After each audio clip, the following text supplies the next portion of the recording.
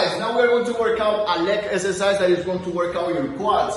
This is what we call the seated front squats. When you just need to position yourself in this machine, try to set up first the pads that you're really close to the to the other one, okay? Try to be really close, then you're going to go down and then up. Back straight, trying to sit down and then squeeze. Again.